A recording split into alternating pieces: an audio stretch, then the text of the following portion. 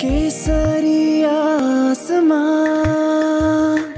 और धरती ये हरी। चक्र तेरा कह रहा हमसे नहीं रुकना कभी।